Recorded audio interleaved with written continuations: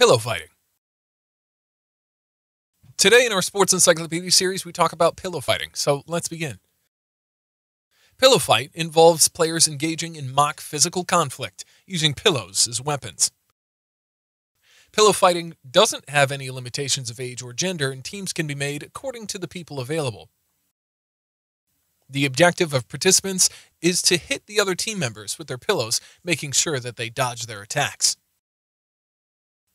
How to participate in a pillow fight? This game can be played individually or in teams of equal participants. Pillow fight can be played with any pillow available, but it should be soft enough that it doesn't knock out your opponent.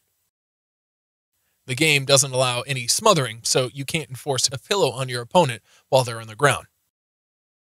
Participants are not allowed to grab their opponent's pillows or hold their opponent in any way. How to win in a pillow fight? There are different variants of the game, each with its own way to win it. King of the Ring. This only applies if there are two fighters only. The first person who falls on the floor loses the game. Sure Grip. In this competition, the first person who drops their pillow loses the game. If the match is between two teams, each time a player drops their pillow, they get disqualified. Pillow Accordion. In this game, all players must keep both their pillows. Any player who fails to keep both pillows in both of their hands on the pillow is either disqualified or declared as a loser. Pillow Ninja.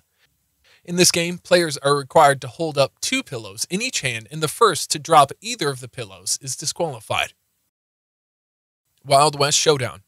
In this game, both fighters position themselves opposite each other on the bed. Plates are required to rest their knees while sitting upright to get as close to the edge of the bed as possible while they can without falling off. The first person to fall off the bed is declared as the winner. Pitch Black.